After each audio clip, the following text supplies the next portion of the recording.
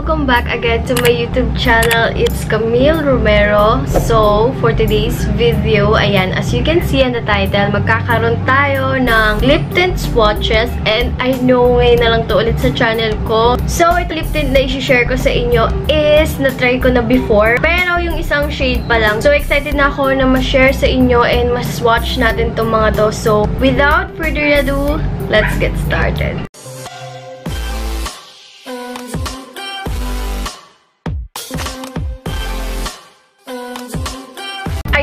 Start na tayo. Ayan.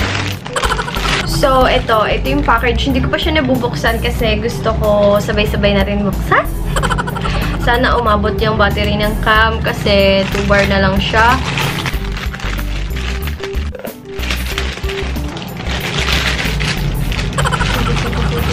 Miss Camille Romero and stay until the end of this video para malaman niyo yung mechanics sa ating giveaway. Kasi, same lang sila ng size. Ayan, kung ano yung swatch natin ngayon, baka ganun din yung mapalanunan nyo sa giveaway. So, abang-abang lang. Alright, so, open na natin to. So, sobrang dami kong giveaway. Ay, sobrang dami kong giveaway. Sobrang dami kong lip tint na pending kasi nga yung labi ko nagsugat siya, girl. Hindi ako makapag-provide ng swatches sa ibang brand. Kaya, I'm so sorry. And itong lip tint pala na to is Modern Day Beauty Lip Tint.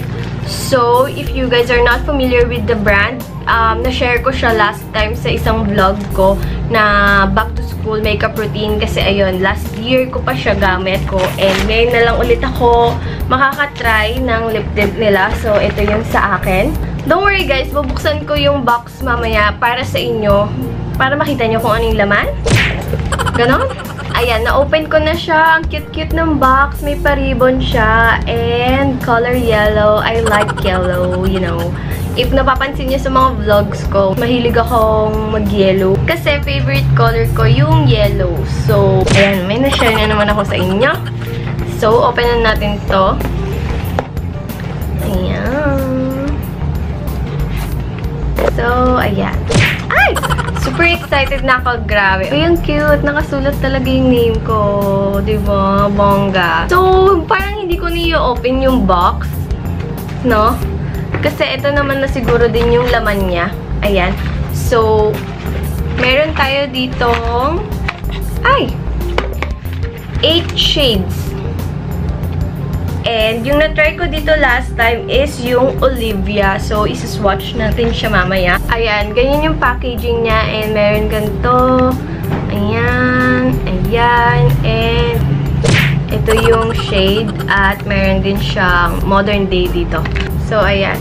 So, sobrang excited na ako, guys. Try natin siya. Kasi last time nung last time ako ng last time eh, no? Last year pa kasi yung bili ko ng lip tint nila. And hindi pa, hindi pa siya naka-box noon. So, ngayon naka-box na siya. So, ito yung packaging niya sa loob. Ayan, ganyan ko lang siya nung nabili. So, tanggalin ko muna yung mga seal nila. Ayan, para dire-diretso tayo sa swatches. Wait. Ayan, so, natanggal ko na yung mga seal nila. Ready na rin yung aking pang-remove ng lip tint kasi pwede sa lips. So, sana talaga matanggal, no? So, mag-start tayo dito sa pinky. Ayan. So, ipapakita ko muna yung swatch niya dito sa braso ko. Ayan. And then, ilalagay na natin siya sa lips. So, this is the shade pinky. Swatch na natin siya. Ayan. So, ito yung shade pinky. Okay, next shade naman tayo itong Solange. Hindi ko alam kung tama ba. Ayan. Sorry talaga kung hindi siya masyadong maganda yung swatches ko. Hindi ako magaling mag-swatch. So, kung mahilig kayo sa mga orange na lip tint, ayan, maganda rin. Pero hindi kasi ako mahilig sa orange. So, next shade naman is Felicity. Medyo pink siya pag nilagay sa labi. So, this is the shade Felicity. Ayan. Ang ganda ng shade niya, you know. Pak! super hirap niyang tanggalin. Kailangan ko nang gumamit ng powder. So, yung next shade natin is itong Ingrid. So, ayan yung swatch niya, guys. Hindi siya mahirap lumabas dito sa ano. Unlike dun sa ibang lip tint. Sobrang tak-tak mo na. Ang tagal pa rin lumabas nung ano, nung product. So, ito hindi siya ganun kahirap. Ayan, wait lang. Lalagay na natin.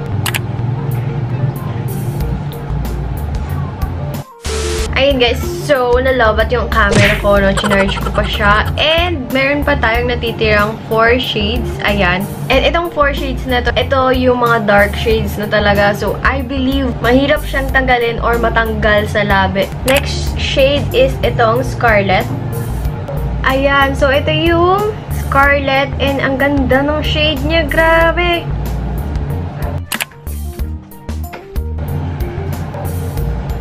Last three shades. Oh my God.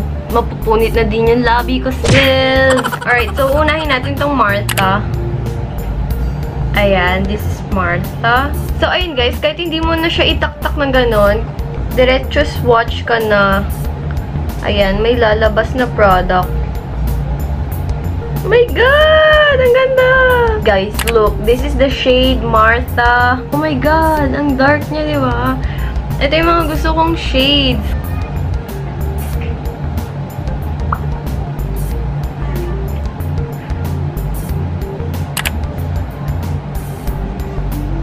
Second to the last shade is itong Winona. So, ito yung shade ng Winona. Hindi pala siya red. Dark brown siya. Ayan.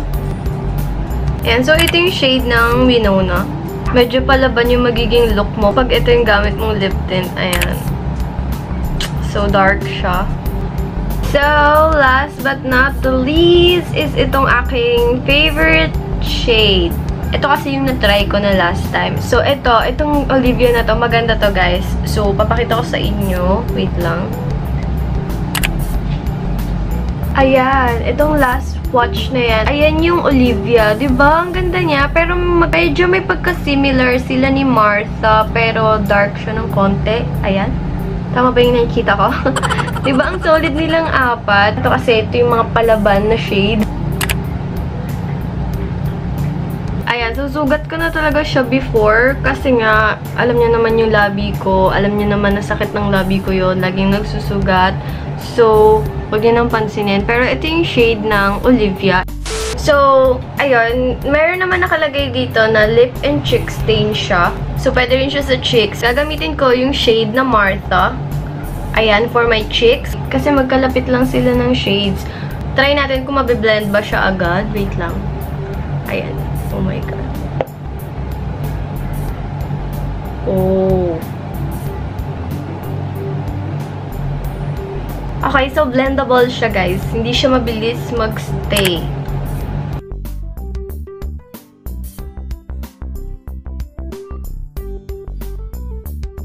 Oh my God, hindi siya pantay. Sabi ko na lagi akong hindi pantay mag-blush. Oh, wait lang.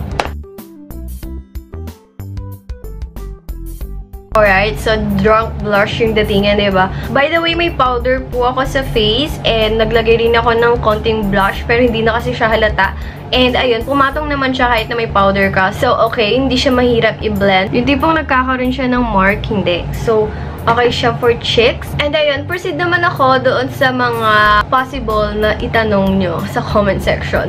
So, magkano nga ba si Modern Day Lip Tint? So, si Modern Day Lip Tint is 160 pesos lang siya. And, mabibili nyo siya sa Instagram nila. And, meron din silang account sa Shopee. So, ilalagay ko dito. So, ayan, visit nyo yung kanilang Shopee account and yung Instagram account nila. Kasi actually, hindi lang lip tint yung meron sila. Meron din silang lip balms and meron din silang lipstick. Kung tatanungin nyo naman ako sa lasa, para kang nagkikendy pag nagli-lip tint ka. And, ayun, ayun gustong gusto rin yun ng mga classmate ko. Kaya nga hiraman kami ng lip tint. Eh. Hiram nila yung mga lip tint ko. Kasi nga, super nice nung lasa niya. Wala siyang bitter taste. And super long lasting niya. Kung makikita nyo kanina, talagang pinapatungan ko na lang siya ng powder. At nilalagyan ko ng BB cream yung labi ko para lang makita nyo pa yung ibang shade. Kasi nga, hindi talaga siya natatanggal. Ang hirap niya. Uminom na rin ako ng tubig. Nagtaray na rin ako ng water test. Hindi rin siya natanggal. So, alam ko na yun yung pinaka-itatanong nyo kung long-lasting ba siya. Yes, it's a long-lasting for me. Wow! So, Next naman is itong packaging. Although pinakita ko na siya sa inyo kanina, pero gusto pa rin isama kasi nga meron na siyang box unlike dati na wala siyang box. And ayun, yung dito naman, wala kayong magiging problema if ever man na mabasa siya. So, sa mga nagtatanong kung ano yung lip tint ko dati, ayan, ito po yung shade na ginagamit ko. Ayan. So, ayun guys, if itatanong nyo kung meron bang nakalagay sa packaging niya na expiration date, ayan, meron po. Ayan, naka-mark siya ng pentel pen kung kailan siya mag expired And since nag-try ko na siya guys, promise to, walang biro. Yung tipong nandito na yung lip tint, pero ang tamis-tamis pa rin niya. Yung tipong na halos na-meet niya na yung expiration date ng lip tint, pero sobrang tamis pa rin niya. Actually, na-share ko yun sa seller and natuwa siya kasi marami din daw nagsasabi sa seller na kahit na-expired na siya, matamis pa rin siya. And alam mo yun, parang hindi nagbabago yung consistency ng lip tint. So, ayun, nasulit ko naman yung 160 ko dito. Tuwan-tuwa ako dahil marami nga daw nagtatanong doon sa nakaraang vlog kung anong shade daw yung lip tint na ginamit ko. So, ayun, kaya nila ako minessage. Dito na tayo sa inaantay nyo, itong giveaway natin. Ayan. So, hindi ko siya papakilaman, guys. So, kung ano yung swatch natin na lip tint, ayun lang din yung makikita nyo dito sa giveaway. Ayan. So, ipopost ko dito sa Instagram ko and abangan nyo yun. So, yung mechanics natin, guys, is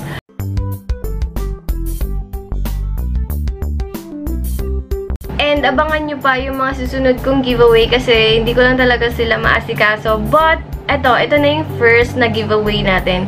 So, sana mag-join kayo. And, ayun lang, don't forget to like and subscribe on my YouTube channel kung nagustuhan mo tong video na to. And, click the notification bell para maging updated ka sa mga susunod ko pang uploads. So, see you on my next one! Bye!